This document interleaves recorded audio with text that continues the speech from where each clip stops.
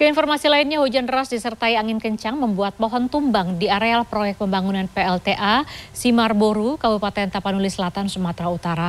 Pohon tumbang menimpa mobil hingga mengakibatkan seorang warga asing tewas terjepit badan mobil. Sementara itu gempa bumi berkekuatan 6,2 magnitudo mengguncang Pulau Simelu, Aceh pada selasa malam. Selengkapnya kami rangkum dalam Indonesia, Indonesia 24 jam. Pohon berukuran besar tumbang dan menimpa sebuah mobil SUV di areal proyek pembangunan PLTA Simarboru, Kabupaten Tapanuli Selatan, Sumatera Utara. Peristiwa ini terekam kamera amatir warga pada Senin sore. Satu orang tenaga kerja asal Tiongkok tewas terjepit badan mobil yang ringsek, sementara dua penumpang lain berhasil selamat dan hanya mengalami luka ringan. Selasa siang, Kapolres Tapanuli Selatan menjelaskan peristiwa terjadi saat sedang hujan lebat disertai angin kencang. Pohon berukuran besar itu tumbang dan menimpa mobil yang dikendarai korban saat sedang melintas.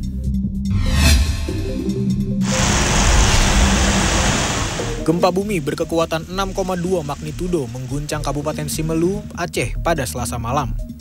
Dikutip dari laman BMKG, pusat gempa berada pada 111 km barat daya Sinabang, ibu kota Kabupaten Simelu dengan kedalaman 12 km.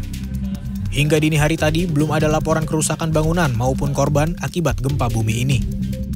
Pihak BPBD setempat mengimbau warga setempat untuk waspada dengan potensi gempa bumi susulan.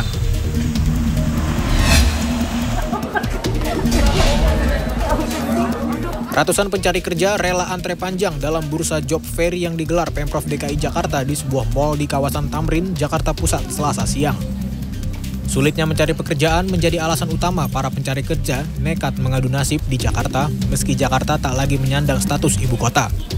Kegiatan job fair yang diselenggarakan Sudin Tenaga Kerja dan Transmigrasi Energi Kota Jakarta Pusat selama dua hari ini menghadirkan sebanyak 40 perusahaan dan mendapat antusiasme tinggi dari para pencari kerja. Tim Liputan CNN Indonesia.